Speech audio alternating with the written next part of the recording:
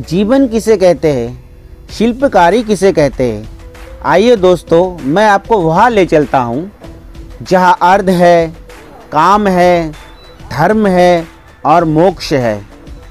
चित्तौड़गढ़ के बाद मेरा सफ़र उस दर्शनीय स्थल की ओर बढ़ा, जो विश्व इतिहास में भारत का नायाब उदाहरण है। करीब तीन दिन पहले की तो बात है जब मैं शाम को साढ़े छः बजे निज़ामुद्दीन रेलवे स्टेशन से गीता जयंती एक्सप्रेस ट्रेन पकड़कर करीब चौदह घंटे की सफ़र तय कर सुबह साढ़े आठ बजे विश्व की अद्भुत धरती खुजराहो में अपना कदम रखा था। खुजराहो इस रूट का लास्ट रेलवे स्टेशन है। स्टेशन से खुजराहो आठ किलोमीटर दूर है। खुजराहो मंदिर प्रांगण के निकट ही आठ सौ रुपये में मैंने एक कमरा लिया। क्योंकि बचपन से ही खुजराहो के बारे में काफ़ी कुछ सुन रखा था। इस कारण जल्दी से उन कलाओं को देखकर मन की जिज्ञासाओं को शांत करना भी था। थोड़ी देर आराम करने के बाद लगभग ग्यारह बजे विश्व की बेमिसाल धरोहर की ओर रुक करता हूँ। गुड मॉर्निंग गाइस एक और विश्व विरासत स्थल खुजराहू टेम्पल्स में आ चुका हूँ मैं, कृष्ण देवनाथ के डी ट्रेवल बॉक्स की तरफ़ से। हम आपको बता दें, आज हम आपको 22 मंदिर के दर्शन कराएँगे। तो विश्व विरासत स्थल खुजराहू टेम्पल्स अभी बावन मंदिर से ही शुरुआत करता हूँ। मेरे पीछे आप देख सकते हैं बावन मंदिर जो भगवान विष्णु को समर्पित था भगवान विष्णु का जो बावन दस अवतार थे, उनमें से उनका एक बावन मत्स्य अवतार, कृष्ण अवतार, राम अवतार आप जानते ही है। उनमें से एक अवतार था उनका वामन अवतार, जो राजा बलि के सामने उन्होंने वामन अवतार का प्रकट लिया था। भगवान विष्णु का ये वामन मंदिर मंदिर से शुरुआत करते हैं। आइए चलते हैं खुजराव टेम्पल्स के दर्शन कराते हैं आपको।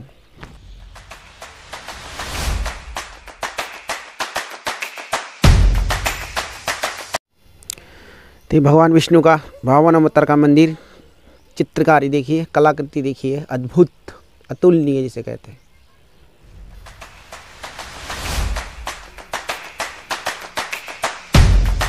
ऊपर देखिए ऊपर देखिए, शेर।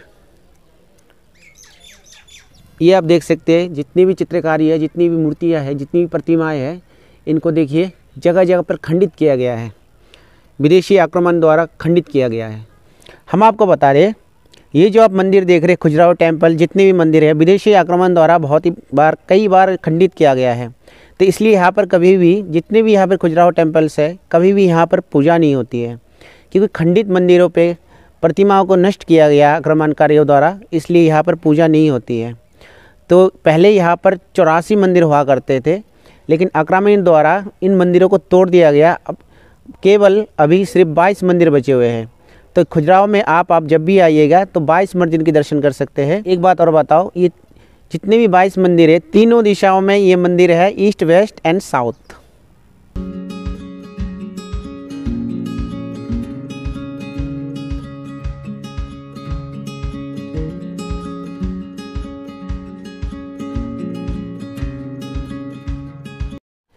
मित्रों, ये जब छोटा सा मंदिर देख रहे हैं, ये जवारी मंदिर है। हम आपको बता दें, ये जितने भी आप खुजराव में टेम्पल्स है, एक हज़ार सन में इसकी स्थापना हुई थी। एक हज़ार वर्ष पुरानी मंदिर है, जितने भी यहाँ पे टेम्पल्स है। तो जावेरी मंदिर को भी खंडित किया गया है। ये देखिए मूर्ति, खंडित मूर्तियाँ, मैं आपको दिखाता हूँ। ये देखिए ये देखिए अब खंडित मूर्तियाँ।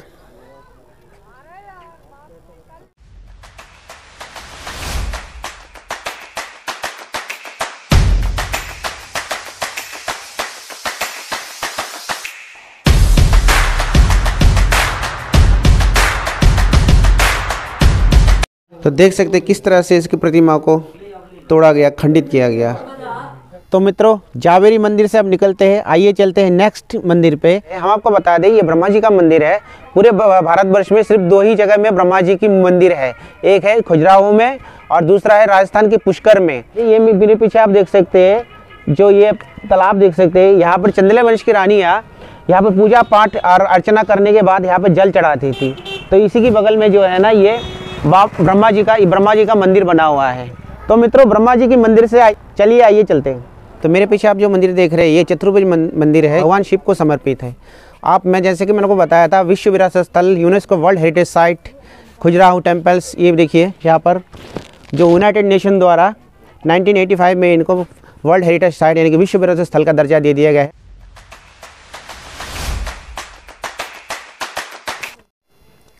तो ये चतुर्भुज टेंपल इसको भी खंडित किया गया है। ये देखिए मूर्ति, यहाँ पे खंडित मूर्तियाँ है। जहाँ जहाँ जाए में, जितने भी आप टेम्पल्स में जाएँगे, यहाँ पे खंडित मिलेगी मूर्तियाँ।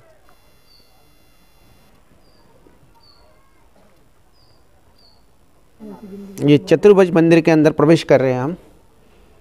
ये देखिए विशाल काय प्रतिमा।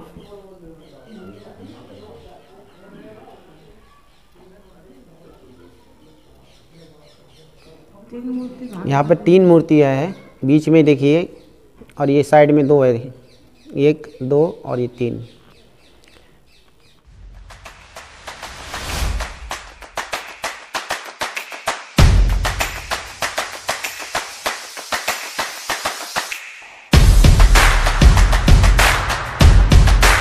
यह भी तोड़ा गया। देखिए इनकी शीश तोड़े गए। तो मित्रों खुजराव टेम्पल्स के एक और लोकेशन पर आ गए हैं। ये है दुल्हादेव टेम्पल्स जो भगवान शिव को समर्पित है। आइए चलते हैं दुल्हादेव मंदिर के अंदर, हम आपको दिखाते हैं।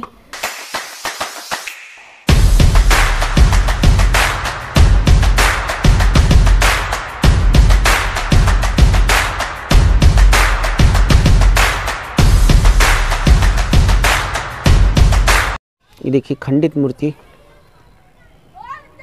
यहाँ पे भी देखिए खंडित मूर्तियाँ ये दूल्हादीप मंदिर के अंदर का नज़ारा है।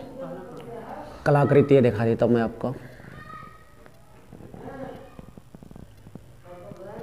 तो मेरे पीछे आप देख सकते हैं दूल्हादेव मंदिर। हम आपको बता दें कि खुजराव गुप्रो टेम्पल्स, हिंदूम्स एवं जैन मंदिरों का समूह है।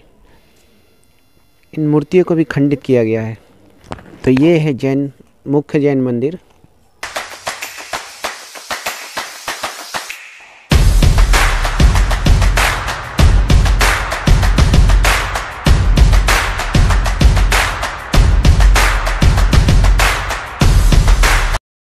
एक जैन मंदिर है, जिसको पार्श्वनाथ मंदिर भी कहते हैं। कलाकृति देखिए। इसके पीछे एक और मंदिर है। चलिए आपको वहाँ ले चलते हैं।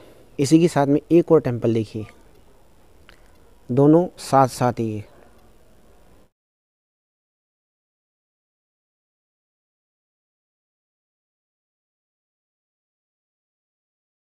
तो एक और जैन मंदिर जो मैंने आपको दिखाया था, उसी के बगल में एक और जैन मंदिर, इस मंदिर का नाम है आदिनाथ मंदिर। तो ये एक और जैन मंदिर, आदिनाथ मंदिर।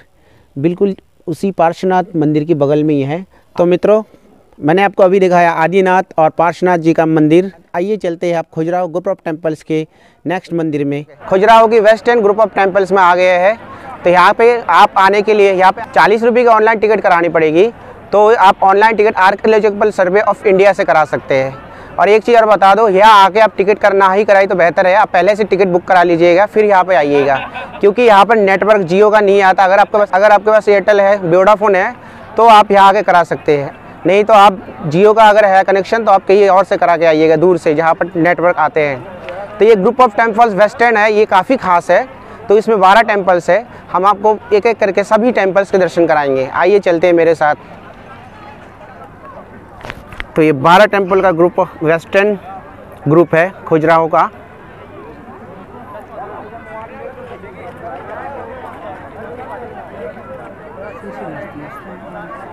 तो यहाँ से हमने एंट्री की थी। वर्ल्ड हेरिटेज साइट तो वेस्टर्न ग्रुप में हमारा पहला टेंपल है, लक्ष्मी टेंपल। तो पहले लक्ष्मी टेंपल से हम शुरुआत करते हैं यात्रा की। और आइए चलते हैं, लक्ष्मण टेंपल के दर्शन करने के बाद और चलते हैं। तो ये है लक्ष्मी टेंपल तो लक्ष्मी टेंपल के बाद अब हम आ गए हैं बरहा मंदिर में। बरहा मंदिर जो भगवान विष्णु के एक अवतार थे, बरहा अवतार, उन्हीं के एक मंदिर है। तो ये है बरहा मंदिर। बिल्कुल लक्ष्मी मंदिर के बगल में ही है।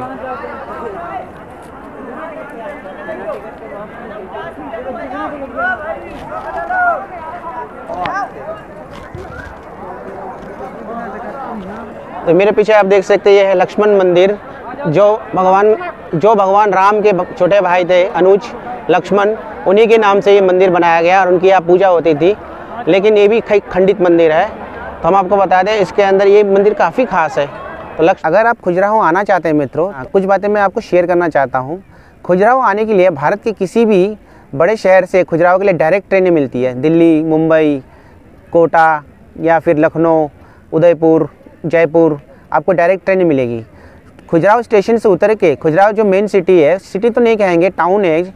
उस टाउन में आने के लिए आपको आठ आठ किलोमीटर का सफ़र करना पड़ेगा। आपको बीस रुपये की, आपको ऑटो मिल जाएँगी। तो बीस रुपये का ऑटो से आप जो है ना खुजराहो सिटी में आइएगा। टाउन में आइएगा, माफ़ कीजिएगा।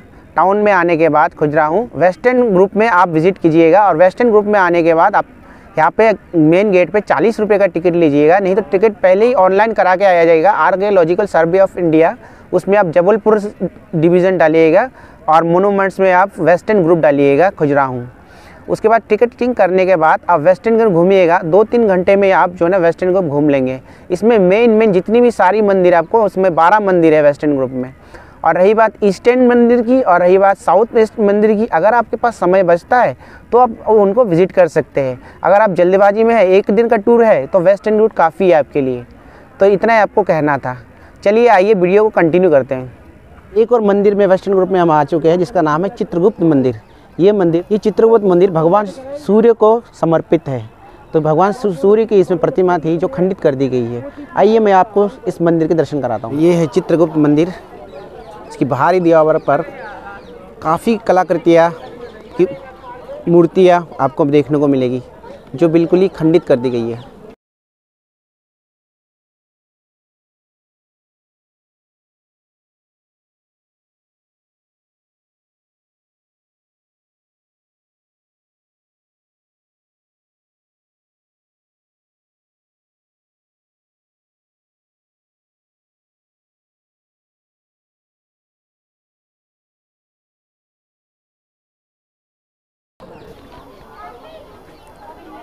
तो ये चित्रगुप्त मंदिर में भी चित्रगुप्त मंदिर में भी काम कृतियों का उल्लेख किया गया है।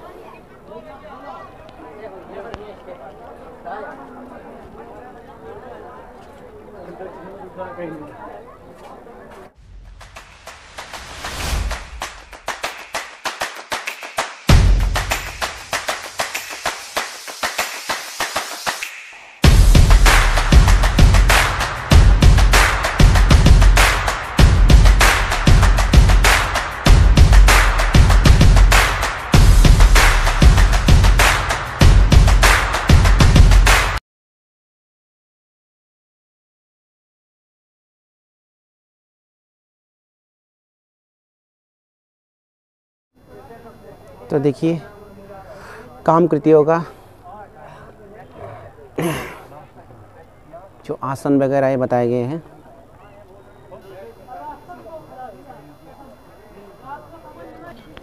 चित्रकूट मंदिर का पीछे का भाग है।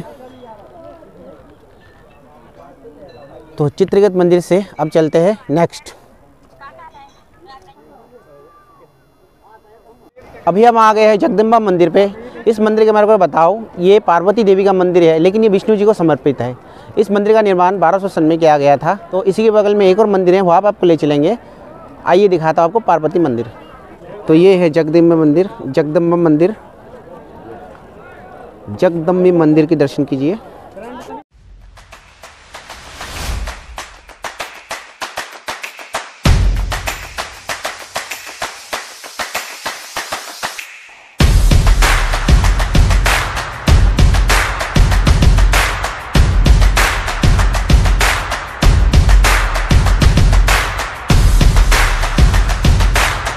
अभी हम आ गए हैं कनारिया महादेव मंदिर। इस इस मंदिर का निर्माण सन 1025 में चंदेल राजा विद्याधर द्वारा किया गया था।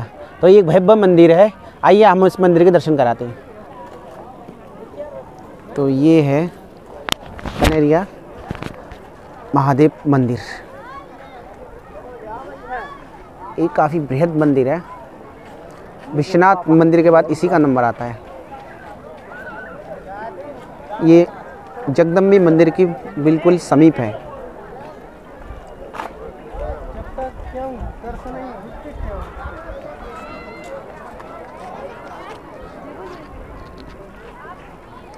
तो मित्रों, आखिरकार मैं इस वीडियो की अंतिम पड़ाव में आ गया हूँ और आपको बता दें, ये विश्व विरासत स्थल का, खुजराहों का वीडियो आपको कैसी लगी, आप मुझे ज़रूर बताइएगा। वीडियो पसंद आए तो वीडियो को लाइक एंड चैनल को सब्सक्राइब कर दीजिएगा और शेयर भी कर दीजिएगा। अगर कोई भी आप वीडियो में कोई कमी होती है, कोई भी जानकारी मेरे से छूट जाती है तो आप मुझे कमेंट्स में बता सकते हैं। तो इसी के साथ मैं कृष्ण देवनाथ आपसे विदा लेता हूँ। आपसे मिलते हैं नेक्स्ट वीडियो में। तब तक के लिए नमस्कार दोस्तों।